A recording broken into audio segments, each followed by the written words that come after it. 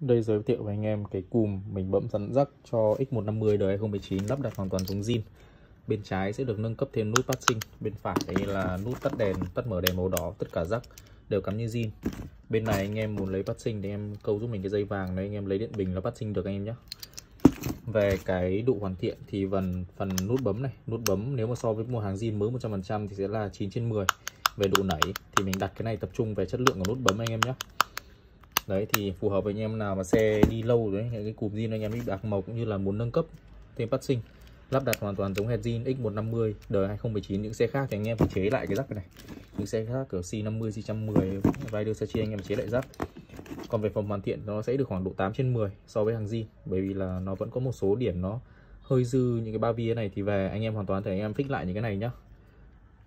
Còn cái cùm này thì mình tập trung về cái chất lượng của nút bấm đây bên trong nó cũng có những hộp chống nước như thế này.